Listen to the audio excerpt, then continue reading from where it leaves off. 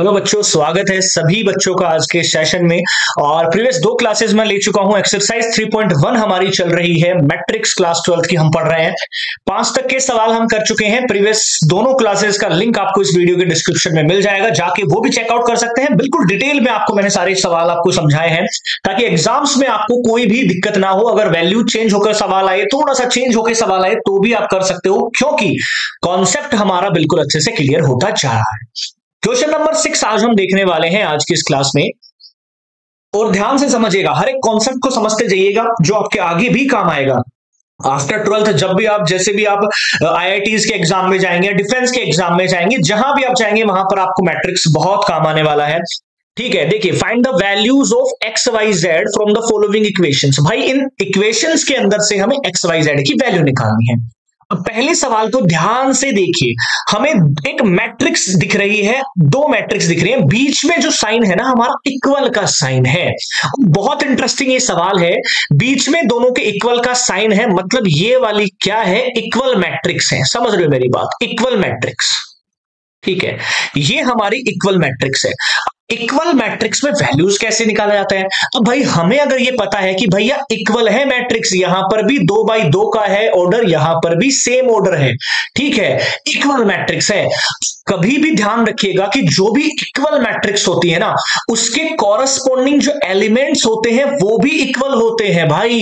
अब इसको आराम से निकाल सकते हो आप लोग। कैसे? हमें दे रखा है यहाँ पर चार, तीन एक्स और पाँच। ये पहला मेरे पास सवाल है और यहाँ पर हमें दे रखा है वाई जेड वन और फाइव अब मैं कह रहा हूँ कि कोरस्पॉन्डिंग एलिमेंट जो होते हैं इक्वल होते हैं।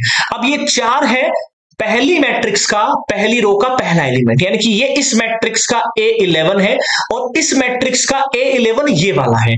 तो कोरस्पॉन्डिंग का मतलब होता है कि भैया जो इसमें एलिमेंट है ना, वही वाला एलिमेंट उसके इक्वल होगा। यानी कि इसका जो ए ग्यारह है, वो इसके बराबर होगा। मतलब सीधी सी बात है कि चार बराबर वाई हमारे पास है। मतलब वाई की वैल्यू तो सीधी सीधी चार है। हमें सिर्फ़ कंपेयर करना था इस सवाल में, कुछ नहीं करना इक्वल मैट्रिक्स में, जब भी इक्वल मैट्रिक्स आती है। दूसरा हमारे पास है भैया, जो इसका ये वाला एलिमेंट है, वो इसके बराबर होगा? मतलब z की वैल्यू सीधा सीधा तीन आ गई। सेकंड सवाल खत्म हो गया है। अब हमारा बचा है x तो ये वाला x बराबर होगा इसके पहले एलिमेंट की। यानी कि x बराबर वन सिंपल सा सवाल था, आराम से आप कर सकते थे। सेकंड सवाल थोड़ा सा टेढ़ा दिखाई दे रहा है, लेकिन इतना टेढ़ा है नहीं, आराम से करेंगे। देखिए एक्स प्लस में टू है सॉरी एक्स प्लस में वाई था वो, है ना? एक्स प्लस में वाई है, ध्यान से देखिएगा। थोड़ा सा हमने दिखाया जल्दबाजी।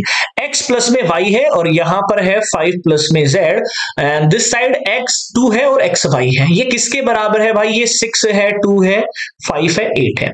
मैंने सेम वही बताया कि आप कोरस्पोंडिंग को इक्वल कर लीजिए आंसर आ जाएगा। यानी कि यहाँ से मैंने एक इक्वेशन निकाली, x प्लस वाई बराबर है छह की। इक्वेशन नंबर वन दूसरा मैंने एक निकाला कि फाइव प्लस जेड है, ये फाइव के बराबर है यार। फाइव प्लस जो जेड है, ये किसके बराबर है? फाइव के। यहाँ से जेड की वैल्यू कितनी निकल के आ जाएगी? ज़ीरो निकल के आ जाएगी। क्योंकि इसको तो डायरेक्ट सॉल्व कर लेंगे यहाँ से हम, ठीक है? अब तीसरी बात यहाँ से देखिए, ठीक है? कुछ और हमें यहाँ से, ठीक है, नज़र आ रहा है। यहाँ पर देखिए एक्स वाई है। अब इस एक्स वाई की जो वैल्यू है मल्टीप्लाई वो आठ दे रखा है। सवाल यहीं पर खत्म हो जाता है। कैसे खत्म हो जाता है भाई? आप देखो यहाँ से।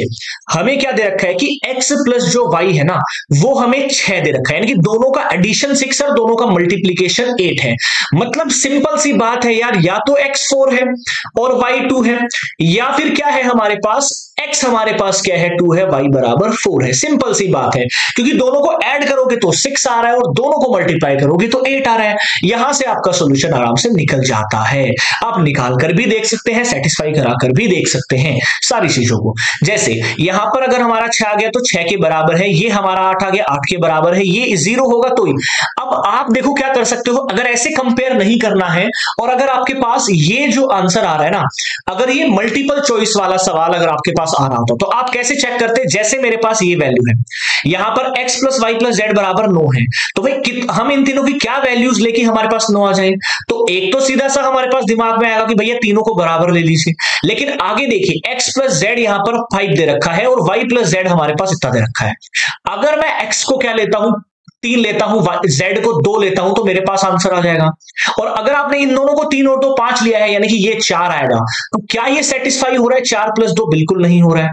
तो आप ऐसे भी चेक कर सकते हैं और इक्वेशन बनाकर भी कर सकते हैं। बिल्कुल इक्वल मैट्रिक्स का बहुत ही आसान सा ये सवाल था। तो जब भी इक्वल मैट्रिक्स के सवाल आते हैं, आराम से कर सकते हैं कंपेयर करके आराम से कर सकते हो। अब अगर मैं इस सवाल को कंपेयर करने लगूँगा तो आराम से कर दूँगा। कैसे? x plus Y plus Z बराबर नाइन मेरे पास है। नीचे मेरे पास है x प्लस में z बराबर फाइव इन दोनों को ध्यान से देखो। मैं यहाँ से x प्लस जेड है ना, इसमें से हटा दूँगा तो y की वैल्यू सीधी सीधी चार मेरे पास आ जाएगी। खत्म सवाल। अगर y की वैल्यू चार है तो आप इसको ध्यान से देखो, y प्लस जेड बराबर सात है। अगर y चार है तो z बराबर तीन आ जाएगा। और अगर ये तीन है और ये चार है, यानी कि टोटल हो गया सात, और इन तीनों की टोटल वैल्यू है नौ, यानी कि x की वैल्यू सीधी सीधी दो आ गई, खत्म सवाल। तो ऐसे आप आराम से सवालों को कर सकते हो। अगला सवाल इसमें बहुत ही बढ़िया है question number seven equal matrix में ऐसे सवाल आपके एग्ज़ाम्स में बहुत बार पूछे जाते हैं तो ध्यान रखिएगा, जब भी ऐसे सवाल आए, आप आराम से मेक श्योर करिएगा कि सवालों को रटना नहीं है। पहली बात तो। अगर आप क्लास ट्वेल्थ में हैं और अभी आगे भी आप पढ़ना चाहते हैं, बहुत अच्छा करना चाहते हैं आगे कंपटीशन के एग्ज़ाम्स में तो रटना नहीं है, मेरा सीधा सा सवाल है, सीधा सा एक सजेशन है सभी स्टूडेंट्स के लिए। यहाँ से देखिए, हमें वैल्यू निकालनी है एबीसीडी की। इक्वल मैट्रिक्स है भाई सिंपल सी बात है। यानी कि ये इसके इक्वल होगा तो मेरे पास क्या निकल के आएगा? ए माइनस बी बराबर माइनस वन दूसरा निकल के आएगा टू ए प्लस सी बराबर पाँच। एक हमारे पास आएगा टू ए माइनस बी बराबर ज़ीरो और एक हमारे पास आएगा थ्री सी प्लस में डी बराबर थर्टीन। अब यहाँ से एबीसीडी की वैल्यूज़ निकालनी है। ये भी देखो ए और बी की इक्वेशन है, ये भी ए और बी की इक्वेशन है। यहाँ से टू ए बराबर बी मेरे पास आ सकता है। मतलब बी की वैल्यू टू ए हो सकती है। इसमें रख दीजिए। सिंपल सा सवाल है, ये इसमें रख दीजिए। तो मेरे पास क्या आ जाएगा? A माइनस टू ए बराबर माइनस वन यहाँ पर बचेगा माइनस ए माइनस वन तो ए की वैल्यू तो बहुत आसान से मैंने से निकाल ली है। और अगर ए की वैल्यू एक है तो बी कितना हो जाएगा? भाई बी बराबर हो जाएगा टू अब यहाँ से देखो, इसके अंदर ए की वैल्यू रख के सी की निकाल लीजिए। यानी कि टू ए प्लस सी बराबर पाँच रखा है। ए की वैल्यू वन है।